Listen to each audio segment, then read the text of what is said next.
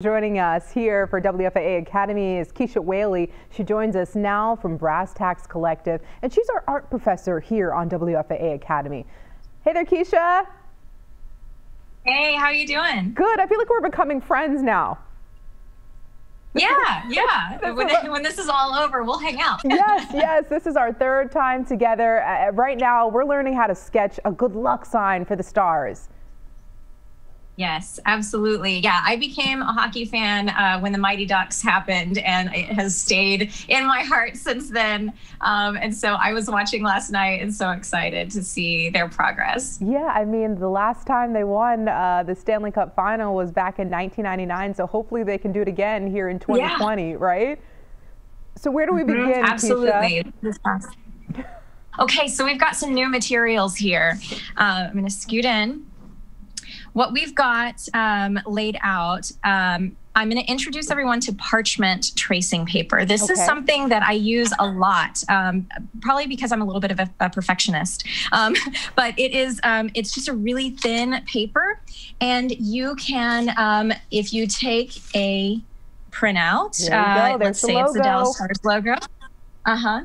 Um, you can trace it. Um, you actually trace it backwards um, so that then you can flip your page over and oh. you can oh. transfer it onto your paper. So I'll show you what happened here. It's pretty light. Not sure if you can see it all the way, but there's just a little bit of a design there. You see? All right. So, so we need um, that parchment paper, and, and what's the black paper there?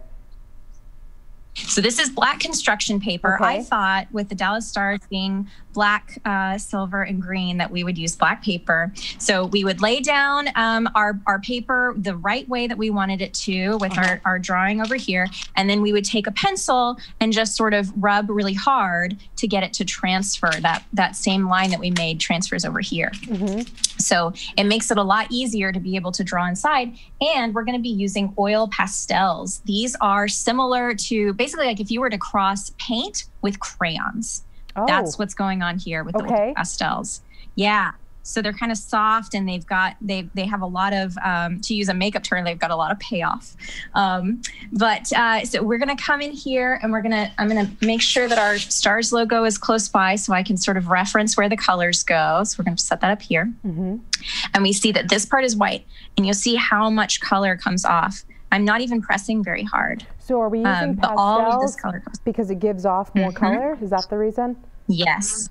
Yes. If we were using colored pencils, we would still be able to see it, but we'd have to press much harder. Right. And with this, we can just press a little bit and we can color all the way in. And we get a lot of of color uh, right on there. And this will work. Oil pastels really work on any kind of paper, um, so you can you can play around with it. So we'll fill in a little bit of this white and then I'll switch over so we can see what the silver does because I'm actually really excited about the silver.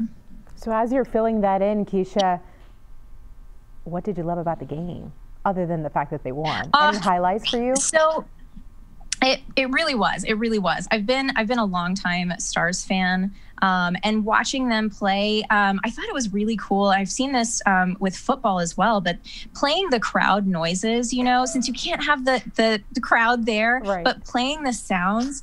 I, I hope that the players found as much energy from that as I did. But it was really cool just hearing um, those cheering sounds, seeing the, the few people that were there really go crazy, especially at the end. You saw them all taking pictures um, oh, whenever the whenever they went up with the with the championship trophy. Yes, yes. So um, yeah, it was just uh, it's we can't have the same level of energy that we normally do, but we're we're trying really hard to kind of bring that experience in. And I just I liked seeing that effort, um, letting the players know that they're appreciated, that their work and their um, their focus on this game has paid off. Right. Um, I also saw that they they seem to be a little bit more friendly than normal, um, which was kind of kind of cool. I think they've been in spending time in their uh, quarantine bubble. They've, I think they're enjoying um, it. But Keisha, yeah, yeah. Save that thought because we're coming right back to you after this break. Okay. Don't do too much there, all right? I won't. I won't. Okay, we'll be right back.